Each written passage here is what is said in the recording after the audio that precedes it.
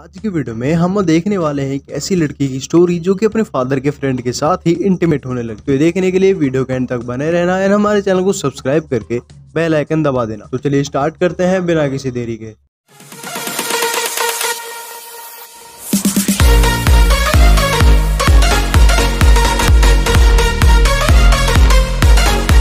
तो मूवी की स्टार्ट होती है और हम लोग जॉन नाम के एक आदमी को देखते हैं, जो कि अपने घर को जा रहा था, पर तभी हम देखते हैं उसे रस्ते में किसी के रोने की आवाज़ आती है और वो देखने के लिए जाता है। अब देखो भाई, ये तो खैर एक मूवी है, पर मैं रियल लाइफ में आपको बता दूँ, अगर आपको कहीं रोने की आवाज़ आए तो रुकना आपको बिल्कुल भी नहीं है। हम देखते हैं कि जॉन वहाँ पर घर के अंदर जाता है और आवाज़ लगाता है कि भाई, कौन है, कौन रो रहा है? तभी हम देखते हैं कि वहाँ पे एक बोट में से जैकी नाम की एक लड़की निकलती है, जो कि इस मूवी की में एक मेन एक्ट्रेस है। हम लोग देखते हैं, ये लोग यहाँ पर बातें करते हैं। और यहाँ पर जैकी कहती है कि मैं तुम्हें कुछ भी नहीं बताना चाहता। और बेसिकली वो उसे बता भी नहीं रही थी, पर जॉन यहाँ पर उसे फोर्स करता है बताने के लिए, तब भी जैकी उसे नहीं बताती। जॉन यहाँ पर जैकी से पूछता है कि तुम मुझे बताओ तो सही कि तुम्हें क्या हुआ है? क्या मैं तुम्हारी हेल्प कर सकता हूँ? तो यहाँ पर जैकी उससे कहती है तुम मेरे लिए बर्फ़ ले आओ। तो जॉन उसके लिए बर्फ़ लेने जाता है तो वो देखता है कि उस घर में अब कोई भी नहीं है जैकी जा चुकी है। अब हम देखते हैं जॉन वापस अपने घर आ जाता है और देखता है कि जो जैकी की कैप थी, वो जॉन के गेट पे लटकी हुई है। अब इसके बाद हम लोग देखते हैं जॉन को जो कि एक बीच पे बैठा हुआ था और तभी हम देखते हैं कि यहाँ पर जैकी एक आदमी के साथ जा रही थी, जो कि उसका फादर था। हम लोग देखते हैं कि जैकी का जो फादर था, वो बहुत ही ज़्यादा खड़ूस था और उसे पीटता पीटता उसे घर लेकर जा रहा था। तो भाई इस सीन को देखकर लिटरली मेरे को ऐसा लगा था कि हम, जैसे हम छोटे बच्चे होते हैं और स्कूल जाने के लिए हम लोग रोते हैं तो ऐसे यहाँ पर जैकी रो रही थी, उसका पापा उसे पीटता हुआ लेकर जा रहा था। अब हम देखते हैं कि जैकी यहाँ पर जॉन की तरफ़ देखती है तो उसका फादर को कुछ शक हो जाता है कि ये आदमी कौन है और ये इसकी तरफ़ क्यों देख रही है।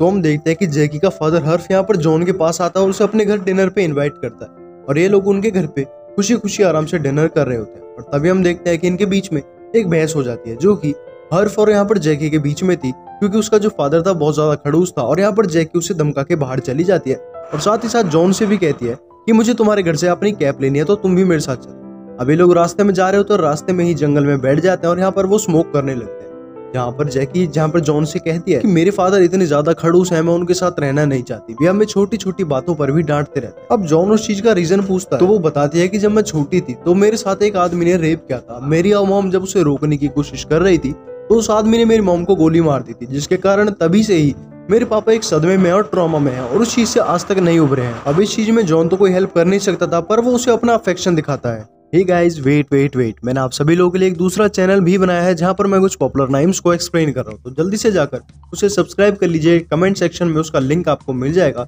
एंड इस वीडियो के कमेंट में मुझे बता दीजिए आपको कौन सा नाइम पसंद है। मैं उसकी वीडियो जल्द से जल्द लाऊँगा। अब हम लोग देखते हैं कि जैकी भी यहाँ पर जॉन के घर आ जाते हैं उसके साथ हैंग आउट करने के लिए। पर यहाँ पर तो कुछ और ही होने वाला था। हम लोग देखते हैं कि जैकी जॉन के सामने पूरे कपड़े उतार के लौट जाती है। वो यहाँ पर जॉन के साथ इंटीमेट होना चाहती थी, जो कि उसके फादर का ही एक फ्रेंड था। आप लोग अब सोच सकते हो कि किस लेवल का यहाँ पे इन्होंने ये सीन डाला होगा। हम लोग यहाँ पर देखते हैं कि जॉन यहाँ पर जैकी को वापस कपड़े पहना के उसे अपने घर से भगा देता है, क्योंकि उसे ये सब अच्छा नहीं लग रहा था, क्योंकि वो जो भी थी थी तो उसके एक फ्रेंड की ही डॉटर पर यार एक चीज़ तो है, ये जो अंग्रेज़ लोग होते हैं, ये कभी भी रिश्तों की अहमियत नहीं समझते। यहाँ पर जैसा कि हमने देखा कि जैकी जॉन के साथ इंटीमेट होने लगी, ये भी कोई बात है। अब हमें अगला दिन का सीन दिखाया जाता है जहाँ पर ये लोग एक माउंटेन पे जाते हैं घूमने के लिए। अरे, अब इस जॉन भाई साहब को क्या हुआ? कल तो इसने जैकी को अपने घर से भगा दिया था। अब इसके साथ घूमने लग रहा है। हम लोग देखते हैं कि ये लोग उस पहाड़ पे घूम ही रहे होते हैं, अच्छी तरह से ये लोग हैंग आउट कर रहे होते हैं। तभी हम देखते हैं कि ये लोग यहाँ पे एक फ्लिंच पे आके बैठ जाते हैं, जहाँ पर अपनी लाइफ को डिस्कस कर रहे थे। पर तभी हम लोग देखते हैं कि ये लोग अपने आप को रोक नहीं पाते, जो कि जैकी थी, वो अपने आप को रोक नहीं पाती। और जॉन के साथ घपाघप करने लग जाती ओ भाई, ये अंग्रेज़ लोग भी क्या चीज़ है कल तो यहाँ पे जॉन भाई साहब ने जैकी को घर से भगा दिया और यहाँ पर पहाड़ों में इनकी चुम्बन चाटी चल रही है। पहाड़ों का पूरा इस्तेमाल करना कोई सीखे इनसे। अब ये लोग अपनी चुम्मा चाटी कर ही रहे होते हैं, तभी यहाँ पर हम देखते हैं कि इन्हें हर्फ के रोने की आवाज़ आती है, जिससे कि ये लोग डर जाते हैं और बाहर देखते हैं कि ये कौन रो रहा है और ये लोग हर्फ के पास जाते हैं। हम लोग देखते हैं कि यहाँ पर जो जॉन था, वो डर गया था। उसे लगने लगा था कि हर्फ ने उन दोनों को चुम्बन चाटी करते हुए देख लिया। और तभी हम लोग देखते हैं, जॉन अपने पैकिंग करने लगता है, वहाँ से जाने लगता है, पर तब यहाँ पे हर्फ आ जाता है। और जॉन की फटके चार हो जाते हैं, क्योंकि उसे लगता है कि हर्फ ने उसे देख लिया है और वो उसे मारने के लिए आ रहा है। और तब हम देखते हैं, हर्फ यहाँ पर जॉन से कहता है कि मेरा बेटा मिल नहीं रहा है कुछ समय से और तुम्हें मेरे साथ चलना पड़ेगा उसे ढूँढने के लिए। अब ये लोग यहाँ पे अपने बेटे को ढूँढने के लिए जाते हैं। हम लोग यहाँ पर देखते हैं, ये लोग रात में घूम रहे थे और जैकी को भी देखते हैं, जो कि पोस्टर्स लगा रही थी। और तभी भी इनको वो लड़का नहीं मिल पाता। हम लोग देखते हैं लेक में भी ट्राई करते हैं उसे ढूँढने की अब हम लोग देखते हैं, एक दिन यहाँ पर जो जॉन था वो एक लेक में नहा रहा था। हम देखते हैं कि यहाँ पर लेक में नहाते नहाते जैकी भी आ जाती है, जो कि उसके साथ नहाने लग जाती है, जो कि भाई साहब बहुत ही गजब सीन था। हम लोग देखते हैं तब यहाँ पर हर्फ आ जाता है और एक पुलिस ऑफिसर आ जाता है उनके बेटे को ढूँढने के लिए। पर यहाँ पर तो भाई रंग रसिया चल रही थी जैकी और जॉन के बीच। अब बाप को देखकर तो जैकी भाग जाती है, पर यहाँ पर जो जॉन था वो फंस जाता है। अब जैसे ही वो बाहर निकलता है, यहाँ पर हम लोग देखते हैं कि जो हर्फ होता है वो गुस्से में उसको मारने के लिए उसके पीछे पड़ जाता है और उसके ज़ोर से एक लकड़ी का डंडा मारता है। हम लोग देखते हैं कि जो यहाँ पर जॉन था, वो बच बचा कर बुरी तरह से भाग के अपने रूम की तरफ़ आता है। हम देखते हैं कि उसके रूम में एक बंदर बैठा था, जो कि उसका फल खा रहा था। हम लोग देखते हैं वो अंदर तो जा नहीं रहा था भाई, उसकी फटके चार हो रही थी, बंदर से भी और हर्फ से भी।